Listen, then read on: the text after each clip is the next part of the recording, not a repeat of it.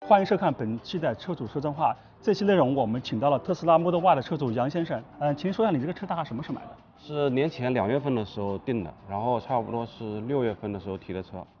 当时就是买这个车的时候，你有没有考虑过其他的一些车型？还是没有，我就只看了特斯拉的三跟 Y 那时候。呃，我之前也是电动车混动混动的，混动车对吧？对，然后我就直接想买个纯电的，因为我住在松江，来回市区要五十公里，哦就是电车更省。买这款车之前，你也没有看过其他的一些新能源车，就是直接就对，我我就是奔着特斯拉去的。你们当时买的价格应该还是比较透明，就是没有说在价格很高的时候，对，对吧？我是嗯三十四万九千九哦，那时候价格已经下来了。对，去年因为它它还没国产嘛，它就是是那个价格都是预估价都是要五四五十万好像。行，那现在我们到车里面看一下整个车的现在情况吧。嗯您这款车现在开了多少公里了？您看呃，看一下一万两千，两2000千。公里对我，因为我每天要从哦，松江到到市区对吧？收对的公里数非常。那理论上那个续航里程是多少？表显充满的话是五百左右吧，四百九十几。那事实上你能够大概开到了多少了？我没有完全开过，因为我是回老家我开过一次，开了三百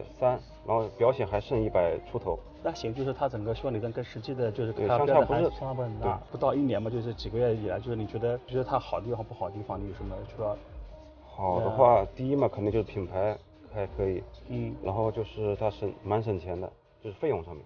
嗯。就我平我以前开混动，混动其实比汽油车已经算对已经省了好多省对对对这款车就混动我差不多来上班的话，也要一个月要八百多，嗯油费加电费，然后它这个的话，差不多我一个月一百出头，一百二三。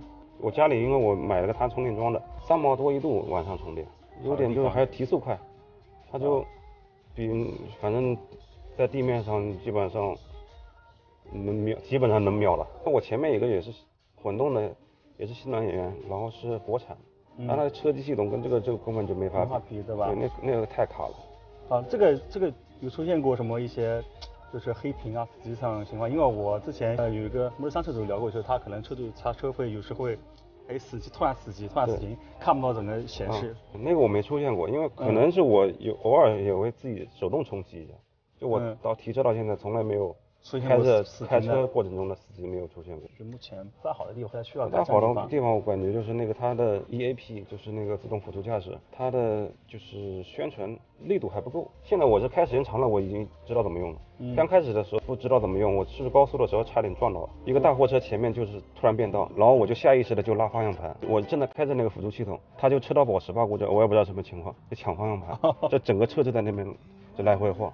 就很蛮还是蛮危险的，因为因为他没有个那个专门的会教你怎么弄，但他那个培训都是太皮毛了，就是因为我一点用过一点基础都没有，他跟我说了什么我都不知道什么意思，你知道？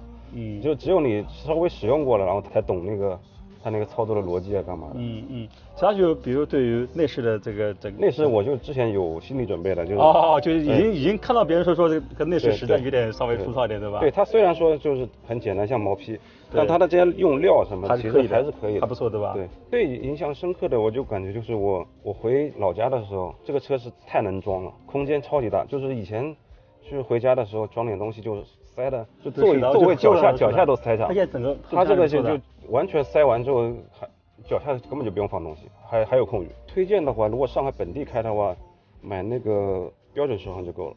啊，因为它标准续航已经能达到四百四百多公里了。对，我这个是长续航嘛，就是第一批的那个长续航，比标准续航要贵七万左右，就是这个差价其实没你没有不跑长途 没有没有必要是吧外观都一样。还有一个是这个车是四驱，那个车是两驱嘛。啊，其实但城市开没没没比足够了。就我们那时候因为没有选择，就没办法，就只能有这一个配套。嗯，这是河西提供的一个一份物理三件套，然后这样的礼品，谢谢。